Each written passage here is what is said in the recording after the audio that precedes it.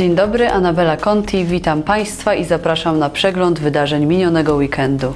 W dzisiejszych wiadomościach podsumowanie prozdrowotnej akcji Pozytywni dla Życia, gliwiccy rzemieślnicy nagrodzeni na regionalnej gali, a na koniec zaproszenie na kolejny odcinek programu z kamerą wśród ludzi. Zapraszam na serwis.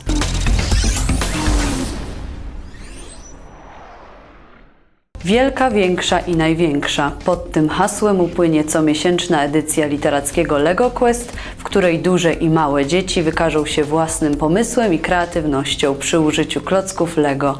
Zabawa polega w pierwszej kolejności na przeczytaniu książki Wielka, większa i największa Jerzego Broszkiewicza, a następnie zbudowanie według własnej projekcji budowli. Udział w wyzwaniu może wziąć każdy przed ukończeniem 18 roku życia, kto zbuduje swoją klockową twierdzę, sfotografuje ją i do końca miesiąca prześle na adres Biejskiej Biblioteki Publicznej. Dla uczestników, którym uda się wysłać 12 prac, odpowiednio z każdym miesiącem roku, przewidziane są nagrody.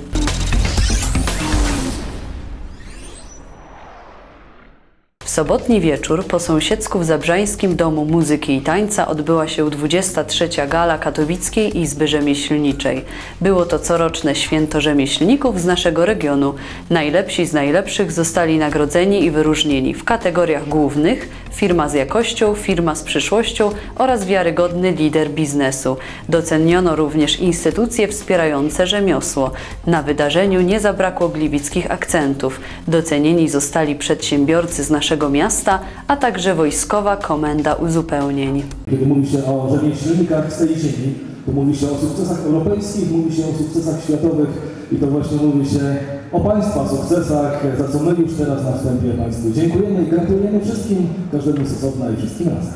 Ja powiedziałem dzisiaj, że wiek XXI będzie należał do firm rodzinnych, a firmy rodzinne to przede wszystkim były firmy rzemieślnicze. Rzemiosło 99,6% to są firmy rodzinne i pytanie, dlaczego dzisiaj tak ważne jest rzemiosło, czy dlaczego tak ważna jest praca w rzemiośle? A dlatego, że jakby dzisiaj popatrzeć na to, czym dzisiaj żyją firmy, to po pierwsze ograniczeniem kosztów, po drugie innowacyjnością, po trzecie predykcją, czyli przewidywaniem przyszłości, po czwarte właśnie poszukiwaniem talentów. Cech rzemiosł różnych jest e, zrzeszony w Katowickiej Izbie Rzemieślniczej i stąd te wyróżnienia, bo to są rzemieślnicy zrzeszeni u nas e, w cechu rzemiosł w, Gliwic, w Gliwicach, więc e, po prostu te środowiska, znaczy myśmy mogli zgłaszać do Izby Rzemieślniczej, do kapituły, e, o, no, znaczy nominowaliśmy i prosiliśmy o, o właśnie o, o te nagrody. Pracujemy już 32 lata w tej branży, prowadzimy tą firmę i, i takim priorytetem naszym właśnie to jest ta statuetka i ta nazwa tej statuetki, czyli firma z jakością. I dbamy o nasze produkty, żeby były powtarzalne, żeby y, wprowadzać, wprowadzać coraz to nowsze jakieś tam produkty na rynek. No i myślę, że będziemy dalej dbać o to. Tym bardziej, że ta statuetka nas zobowiązuje. Walczymy podnosząc kwalifikacje, e, jeżdżąc na, e, do Berlina na wszelkie nasze wystawy, no różne na sympozja, różne i tak dalej w naszej dziedzinie i tak dalej, bo to jest bardzo, bardzo by się wydawało silniki błaha rzecz. Silniki, poza, jak prąd pierwszy, a później napęd silników elektrycznych robi wszystkie urządzenia. My obsługujemy około 400 firm. Tutaj w Gliwicach cała strefa przyjeżdża do nas. No na pewno jest to docenienie wszystkich naszych starań, a także motywacja do dalszej drogi rozwoju, by ukierunkować te rzemiosło właśnie, dbać i pielęgnować.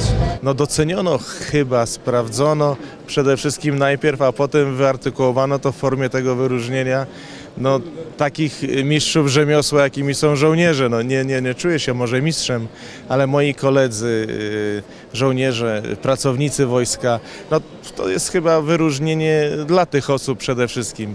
W takim gronie, w takim środowisku zostać wyróżnionym jako ten naprawdę dobry rzemieślnik swojej pracy, no to wielki zaszczyt, no i wielka przyjemność.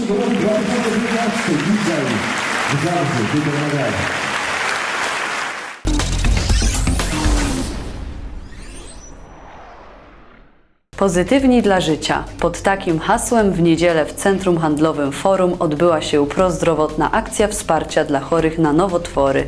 Przeszło 100 osób zapisało się tego dnia do bazy dawców szpiku, a kilkadziesiąt dziewcząt i kobiet oddało swoje włosy na peruki dla chorych.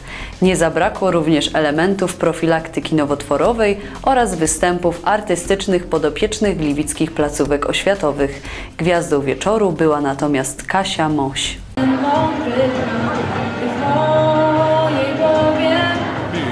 Wspaniała impreza Pozytywni dla Życia w ramach kampanii Pozytywni Gliwice.pl. E, Inicjatorem tej akcji jest pani Agnieszka Węgrzyn i pomagała nam tu w organizacji pani e, Alicja Łysko, ale tak naprawdę e, ta impreza odbyła się tylko dzięki temu, że zaangażowało się w nią bardzo dużo gliwickich placówek oświatowych. Wspierała nas biblioteka, Młodzieżowy Dom Kultury, Gliwicka Onkologia. No, współpraca rządzi w dzisiejszym dniu. Centrum Handlowe Forum zawsze angażuje się w wszelkie fantastyczne inicjatywy społeczne. W tym wypadku e, tak naprawdę na pytanie, czy chcemy dołączyć do pozytywnych, czy chcemy razem walczyć z nietolerancją, z hejtem, odpowiedź mogłaby być tylko jedna, tak? O, oczywiście na tak. E, tak jak mówię, Centrum Handlowe Forum e, od samego początku swojego istnienia stara się być częścią lokalnej społeczności e, i, i, i, e, i pokazywać to, co jest najważniejsze. E, krzewić tą kulturę osobistą, uczyć ludzi, pomagać, wspierać. Na początku to miała być malutka impreza, nagle okazało się, że mamy fantastyczne przedsięwzięcie i czego efekty dzisiaj widzimy. Są występy przedszkolaków, są występy młodych solistów. Na końcu mamy dzisiaj występ Kasimoś. Dzieje się naprawdę bardzo, bardzo dużo. Wiadomo, że zdrowie jest najważniejsze, ale wygląd również. Samopoczucie piękna, e, włosy na głowie, gdzie na przykład dla kobiety jest to najważniejsza chyba e, rzecz i ozdoba, tak jest. Więc tutaj można te włosy pozyskane od innych ludzi dobrej woli e, przekazać na szczytny cel, na przekazać na inne peruki dla właśnie potrzebujących. Bądźmy pozytywni, cieszmy się życiem, kochajmy się, szanujmy się e, i, i naprawdę słowo pozytywnym, być pozytywnym jest, jest bardzo proste i, i nic więcej. Trzeba być tylko pozytywnym w życiu. Tego wszystkim Państwu życzę.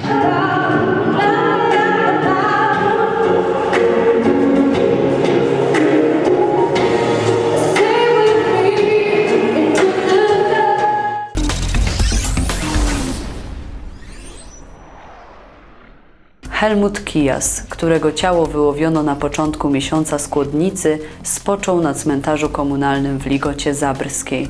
Pogrzeb stał się możliwy dzięki ofiarności dawnych sąsiadów zmarłego, którzy na apel Rady Osiedla dokonali zbiórki darów i środków finansowych. W ostatniej drodze towarzyszyło mu kilkadziesiąt osób. Z zasiłku pogrzebowego zabrakło niestety na e, samo ubranie dla e, pana Helmuta, zabrakło na e, kwiaty i na takie podstawowe rzeczy.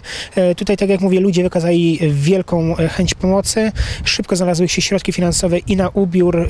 Właściwie sześć garniturów dostaliśmy do ręki, mogliśmy wybierać, którym tak naprawdę najlepiej będzie pana Helmuta pochować, bo on był bardzo niskiego wzrostu. Znalazły się także rzeczy na nowe po prostu odzienie, czyli koszule, krawat, wszystkie takie mm, artykuły najbliższe ciału y, dostał jak najbardziej nowe.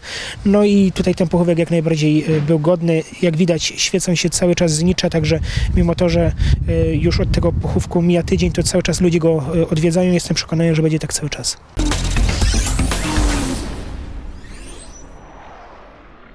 Na cmentarzu w Ligocie Zabrskiej pojawiliśmy się z kamerą przy okazji przygotowywania reportażu o tej dzielnicy. Całość materiału jeszcze dzisiaj w programie z kamerą wśród ludzi. Serdecznie zapraszam w imieniu Andrzeja Wawrzyczka. Tym akcentem kończymy dzisiejsze wydanie wiadomości telewizji Imperium. Można nas oglądać w sieci kablowej Imperium Telekom i w internecie na tvimperium.pl. Dziękuję za uwagę i życzę udanego popołudnia.